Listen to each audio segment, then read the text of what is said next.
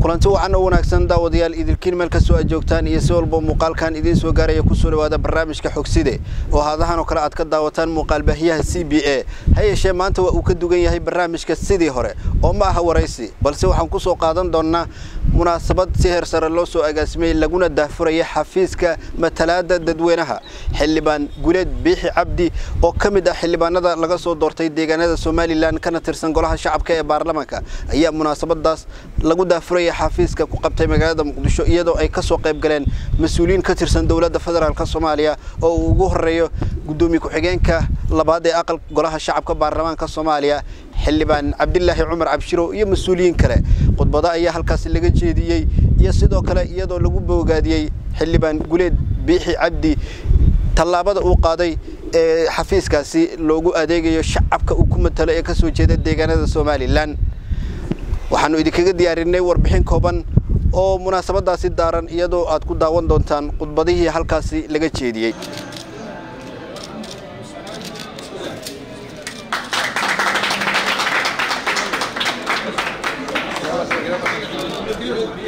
munaasabadan oo ahayd mid heer sare loo soo agaasimay laguna daahfurayay xafiiska matalaada dadweynaha ee kursiga golaha shacabka uu ku matalo xildhibaan guleed biixi cabdi oo ka mid ah xildhibaanada golaha shacabka baarlamaanka soomaaliya madasha daahfurka xafiiska matalaada dadweynaha ee xildhibaan guleed biixi cabdi ayaa waxaa goobjoog ka ahaa gudoomiye ku-xigeenka labaad ee aqalka hoose xildhibaan. Cabdilaahi cumar abshirow xubno ka tirsan golaha wasiirada xukuumadda soomaaliya xildhibaano ka tirsan labada aqal ee baarlamaanka soomaaliya. Qaar ka mid a dadka uu ku matalo kursiga golaha shacabka xildhibaan biixi iyo marti sharaf kale ugu horeyn xildhibaan guleed biixi cabdi oo ka hadlay madasha daafurka ayaa faahfaahin kooban ka bixiyey. Shaqada uu qaban doono xafiiska matalaada dadweynaha dadka uu ku matalo kursiga uu ku fadhiyo ee golaha shacabka baarlamaanka soomaaliya. Waxaynu ognahay waxaad ka cabataan guud ahaan waad naga cabataan. Haddaanu baarlamaanka nahay xildhibaanada haddaanu nay aad baad nooga cabataan. Waadna karahdaan nama jeclidin. Waanu ognahay xantayada waxaana lagu eedaynayo waa laga yaabaa wax ka mid a in aanu dhaliisheeda qaadanno waxaad nagu eedaysaan laydinma arko waxaad nagu eedaysaan telefoonadaad xidhataan waxaad nagu eedaysaan wixii laydiin doortay ma qabataan.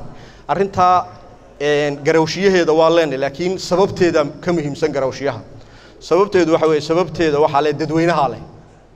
Sababteeda dadweynahaa leh. Xildhibaanka awooddiisa awooddiisa dastuuriga iyo tiisa shaksiga ah iyo idinkoo la qiyaasaya xataa awoodda qaran iyo halkaynu marayno xildhibaanka wax badan oon awooddiisa ahayn baa dhakada laga saaraa. Lagama saaro ee keliya waa lagu colaadiyaa lagu maagaa diiqad iyo cidhiidhi lagu geliyaa. Taasi waxay keentaa aakhirka xildhibaanku in xataa wixii yaraa uu qaban karaya uu isjiraa waar kolley iyo kolley ma ma eed la'aanay side bal waxaad yeeshaa ka naso uun bowqan iyo qayladan. Marka waxaan jeclaa arrintaa idinka laftiina inaad ku noqotaan. Intaydaan xildhibaanka u iman ka hor inaad tirahaan xildhibaanku muxuu qaban karaa? Arrintaa muxuu ka qaban karaa? Wax badan oo wax ka qaban karaa jira. Iyo wax badan oon waxba ka qaban karayno awooddiisa ka baxsan iyo mararka qaar waxyaala aan gar loogu lahayn. Marka waxaan soo jeedinayaa dee si aanu xafiisyo badan idinku furno ku hadlaya afka golaha shacabka. Si aanu xafiisyo badan idinku furno aynu isu aragno isu nimaadno arrintaa ha la eego oo dib ha loo eego. Oo markay ugu yartay xafiiskaasi ha la yidhaahdo xafiiskaasi bulshadu u furan yihiin intiina intiina markaa shaqaysaa dee wixii contribution u baahda haddii cid la caawinayo idinka ina ina ina ina inay idinka bilaabato. Aad iyo aad baan umahad mahadnaqayaa waxaan jecelahay arrinta wadahadallada somalilan iyo soomaaliya. Waxyaalaha aynu isleenay insha allahu tacaala way waynu ka doodi doonaa waynu isweydiin doonaa. Madaxweynaha madaxweyne doctor xasan sheekh maxamuud waynu uga mahad ahaa soomaali heshiisa inuu kaga dhabeeyey inuu magacaabay ergeyga arrimaha wadahadallada somalilan iyo soomaaliya inuu magacaabay. Taas waxay muujinaysaa bisaylka iyo sida uga go-antahay dalku inuu midoobo. Cidduu u magacaabay lafteeda iyo ergeygu magacaabay cabdikariim nin aan aqoon badan ku tuhmayno waayo aragnimo badan ku tuhmayno dhinaca iyo dhinacanba. Runtiina arrimahan muddo isagu ka soo shaqeeyey oo aanay ku cusbayn aan filayo inuu horumar badan ka keeni doono laakiin waxaa jira caqabado waaweyn baa jira arrimaha wadahadalka waxaanad moodaa dowlad dowlad kastaa inay si markaa iyadu indho gaaro ku eegto waxaan talahaan ku soo jeedin lahaa in la institutional gareeyo arrinta arrinta somalilan waa arrin qaran run markaynu u hadlayno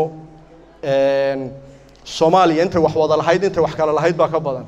Taqriiban wax dhowr iyo labaatan sano ah ayaa wax la wada lahaa dhowr iyo soddon sanona waxbaa la kala leeyo dadku waa kala maqay kala maqnaashiyaha si gaab badan buu keenay. Si gaabkaa loo buuxiyo waxaan is leeyahay long term strategy baa loo baahan yahay insha allah hadday suurtagal noqoto in in wada hadallada la xoojiyo in hadday suurtagal noqoto mustaqbalka laga fekero in wasaarad si waxaan uu noqdo mashruuc dowladba dowladda ka dambaysa ay ku sii wareejiso?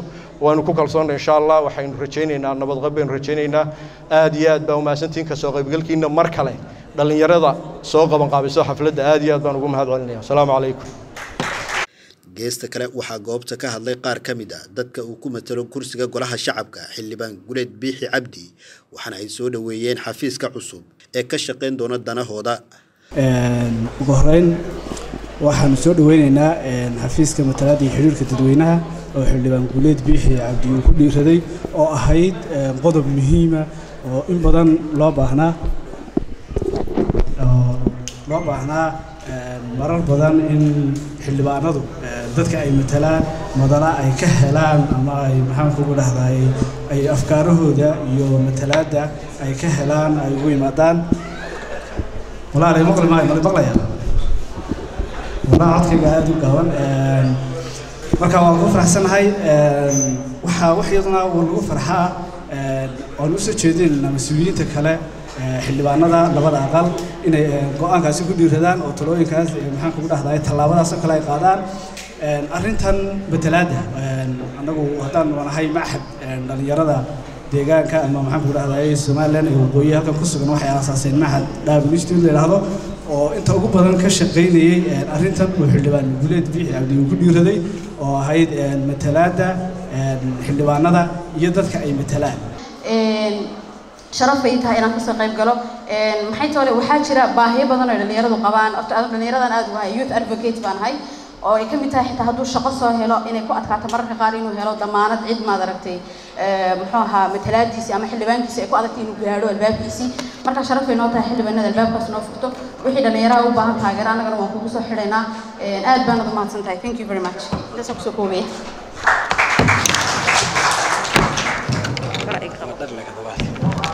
sidoo kale waxaa madasha munaasabadda sidoo kale waxaa madasha xalfadda munaas sidoo kale waxaa madasha daafurka xafiiska dadweynaha kelmado kooban oo dhiirigelina ka jeediyey wasiiro iyo xildhibaano ka tirsan golaha shacabka baarlamaanka iyo aqalka sare iyagoo hoosta ka xariiqay in tallaabo wanaagsan uu qaaday xildhibaan guleed taasi oo isku xiraysa shacabka uu ku matalo kursiga golaha shacabka iyo sidoo kale dowladda.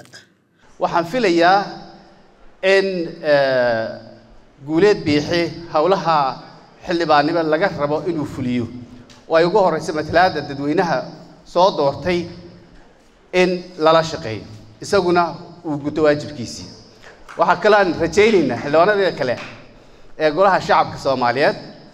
Haddii xafiiskaasi uu ka gudbay imtixaankaa uu gelayo inay tubtaa qaadi doonaan insha allahu tacaala mustaqbalka aad baan ugu hambalaynayaa xildhibaan guuleed biixi cabdi xafiiska uu furay iyo dadka ka soo qayb galayba wasalaamu calaykum waraxmatullahi wabarakaatu deegaan iyadoo ay tahay masalaad shakhsiyeed intaba waana loo baahan yahay in la sameeyo. Runtii waan ku booraarujinaynaa waanu waanu ku bogaadinaynaa xildhibaanka qabashadan iyo u horseedkan uu soo sameeyey xilligan waayo wax badan ayaa maxaan ku rahdaayey xildhibaanada ee qaranka soo jiri jiray. Qaar badanaa isku dayey inay xamar ka sameeyaan laakiin hadda meel kasta ayaa loo baahan yahay in laga sameeyo. Sababtoo ah waddankii waa furfurmayaa waddankii dagaal uu ku jiraa waa socdaa waxaa laga yaabaa xildhibaano inay maxaan ku rahday ka furtaan xafiiskooda dhuusamareeb ama jowhar ama baydhabo in meel alaala meeshii la xoreeyey taasna waxaa waaye munaasabadaha soo socdo ayaan filaynaa. Laakiin tan uu guuleed ku dhaqaaqay waa mid aad iyo aad u fiican fikrad ah. Dadka ummadda badan ee maxaan ku kala irdhoowey si loogu soo celin isku soo celin lahaa sidii shaqadii ay u noqon lahayd shaqa xaggana ka socota halkaana ka socota. Beyo oo dhamme runtii si fiican bay u guud mareen waa arrin runtii bogaadin leh in maxaan ku idhaahdaa qof xildhibaan ah oo dad matelayo mas'uuliyadda intuu isa saaro inuu bannaanka isa soo dhigo oo albaabada uu furo si formala weliba. Runtii geesinimo fara badan baa ku jirta. Kolley aniga waa iga geesisan yihiin waxaan runtii rabaa inaan xuso xildhibaanadu ama xafiis ha u furnaado ama yay u furnaan laakiin mas'uuliyad qaran baa saaran. Mar walbana adeegaas iyo kaalinta ay leeyihiin way gutaan. Aad baan uga warqabaa xildhibaano halkan waxaa xaggaa dambe aan ka arkayaa caydaruus xildhibaan caydaruus oo dhuuntay. Oo runtii ka mid a xildhibaanada isna cusub aadka u jajaban ee dadka u adeega waa badan yihiin xildhibaanadu. Runtii waa la kala jajaban yahay oo waa la kala xoog furan yahay. Laakiin xildhibaano badan baa runtii doorkooda qaata oo maalin walba meesha ay taagan tahay. Wixii kaalinta bannaan buuxiya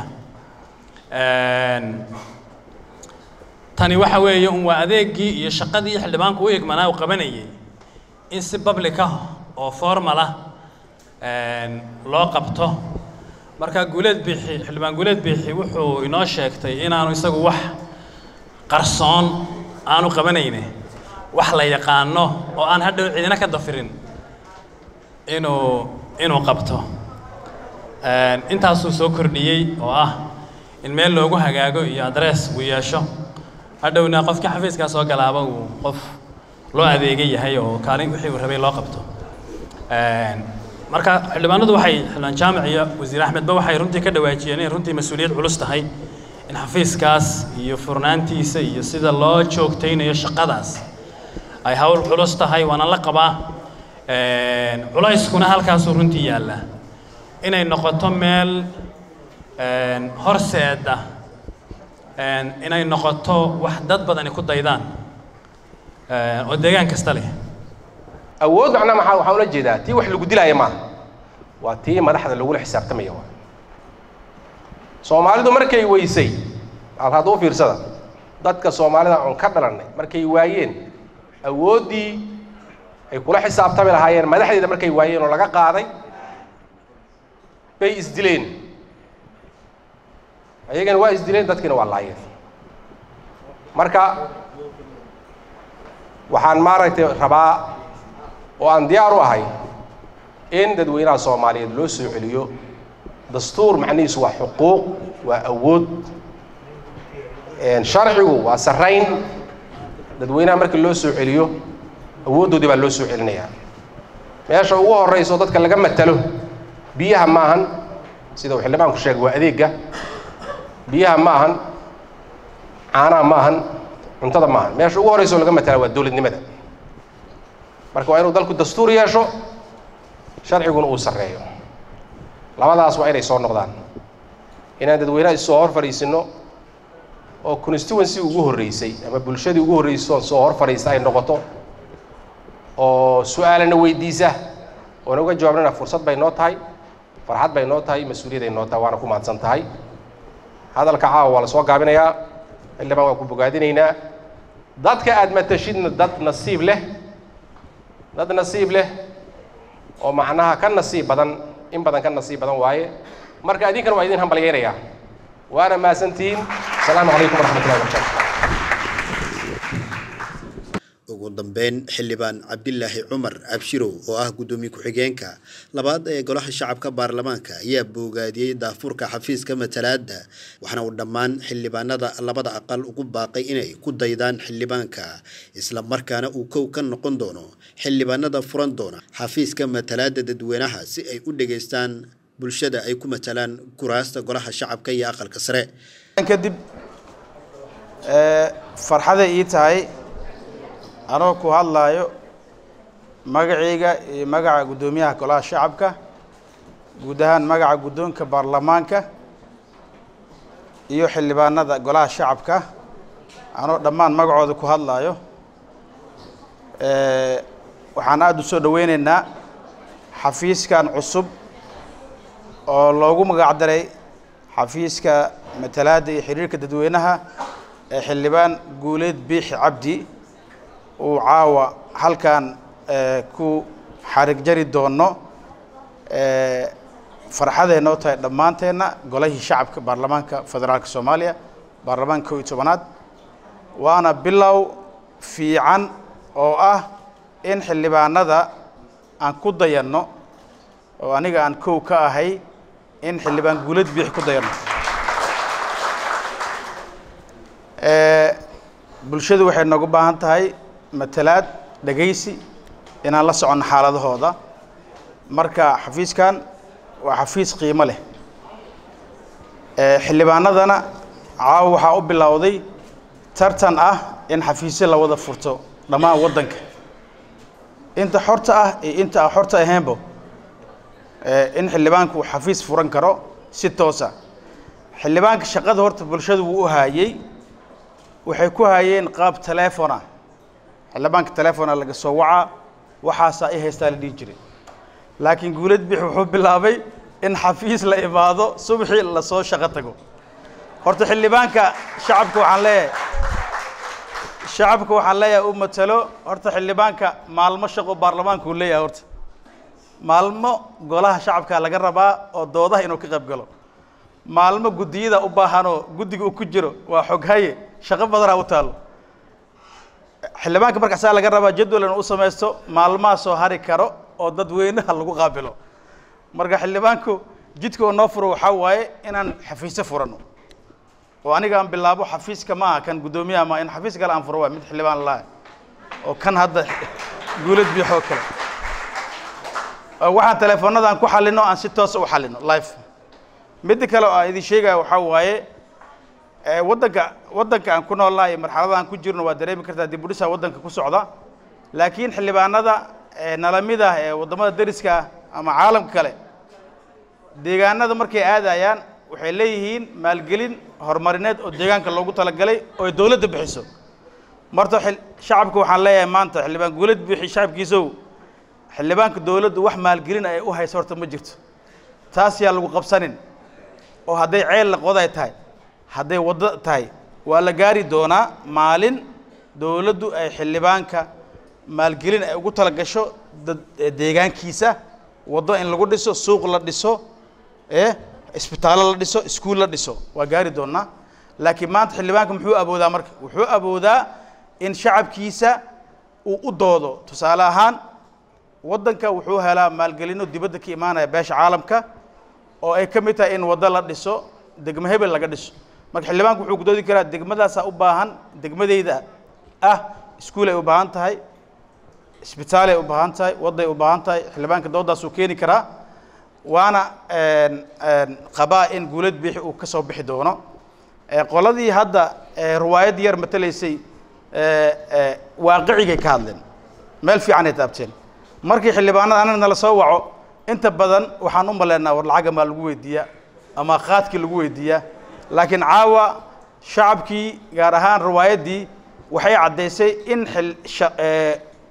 qofka shacabka ah xildhibaankiis markuu u yeeraayo uusan waxaas unagu yeerin oo ah in qaad loo gado wax noocaas oo kale. Waa inuu dhahaa shaqa u baahana xildhibaan oo shaqa inta ka hela waxbarashaan u baahanahay scholarship. Xildhibaana waxyaalaha uu xildhibaanka waxyaalaha uu gashan karo waxaasaa ka mid ah matalaada dhabka. Muhiimadda marka waxay tahay in xildhibaanada golaha shacabka guulad bixi caawa noo bilaabay aan ku dayano annaga dhammaanteenna kulligeennana waa ka shaqaynayna deegaanadeenna howlo badan aan ka qabanayna laakiin qaabkaan u qabanaynay waa qaab waxay ahayd online ah. Marka onlineka waa dhammaaday caawa. Shacabo online waa dhammaaday soo ma wixii hadda ka bilawda maxaa noqonaa face to face wejiga in laiskuga hor yimaado xildhibaanka loo tago. Marka annagana ka baarlamaan ahaan ka guddoon ahaan hadda magaca guddoonkan ku hadlaa xildhibaanka xafiis furanayo xafiiska wuxuu u baahan yahay oo qalabeen ah ama documents ah. Annaga ma naga codsanayo baarlamaanka u taga oo soo qaadanaya maxaa yeele xildhibaanka awooddiisa waay. Halesiiyuu leeyahay waxaas. Wax codsi ah ma jiro wixii annaga aan qaban karno. Oo xildhibaanka uu baahan yahay inuu xafiiskiisa ku hormariyo waxaa ka mid ah dadka uu matalo waxay weydiisteen dastuurka soomaaliya oo kale xeerashaadka baarlamaanka. Annaga waxaan ku qasbannahay inaan daabacno aan xildhibaanka u dhiibno. Nuqul kasta uu baahan yahay in dad- dadkiisa u qaybiyo si ay isu diyaariyaan dadweynaha dadweynaha doodaha markay gelayaan waxay u baahan yihiin inay isdiyaariyaan soo maa hadda wasiirku wuxuu u wasiir xasan macalin inuu dood qaban doono oo xildhibaanada shacabka u matalo xildhibaan guuleed bix marka waxay u baahan yihiin in iyagoo update ah wax kasta yaqaana inay wasiirka hor yimaadaan ee dhahaan dastuurka sidee ee shaqadiisa ay ku bilaabane sidee dastuurka afti loo qaadi kara afti dadweyne baarlamaanka markuu ka dhammaado oo waxyaalaha mu- muhiimka cadaaladda sidee hadda waddankan waxa ugu ba ugu badan hadda aan u baahannahay cadaaladda inaan kor u qaadno wa la dagaalanka shabaab wuu socdaa laakiin cadaaladda waa in kor loo qaadaa cadaaladda bulshada soomaaliyeed. Muhiim wa maxaa yeelay garsoor in shabaab loo aado waa qalad. Waa in garsoorka loo soo doontaa hay'adaha dowladda soomaaliyeed. Shabaab hadda waa baaba'ay wax uu yahay ma leh shabaabku wuxuu ka mid yahay waxyaalaha deegaanadii aan aadi lahayn baabi'iyey shabaab waa hadda deegaanada aan ka soo jeeda shabaab ee aaday u haystaan deegaanada aniga aan matalo ee shabaabka aaday u haystaan ma tegi karno dhibaatooyinka ka jira. Dadkii ma gaari karno. Markaan gaarayna waxaan ku gaarnaa helicopter inaan qaadano oo helicopter ku degno ama diyaarad aan qaadano. Tuulo tuulo kale loo safri karo ma jirto. Marka xildhibaanka shaqadiisu way badan tahay. Saddex shaquu xildhibaanka sheegay. Midda oo xafiiska loo furay waa ujeediyey matalaadda iyo xiriirka dadweynaha waa laakiin xildhibaanku wuxuu qabanaa shaqa ah in xukuumaddii uu la xisaabtamo wuxuu qabanaa in shuruucdii waddanka uu uu in dib oogis ku sameeyo uu shuruuc curiyo shuruuc ansixiyo shaqooyinkaas xildhibaan xildhibaan guuleed bix wuu qabtay.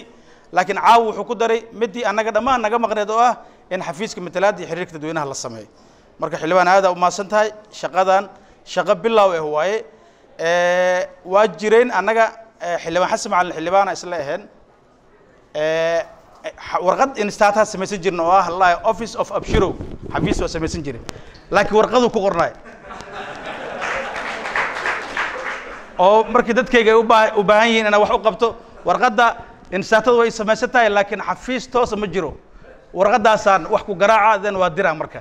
Saasaan wax marka shaqadaasaa qaban jirnay laakiin maanta warqadiina waa imaane xafiiskana toosa u imaade. Caawaan bilaabi doonaa shaqadaas.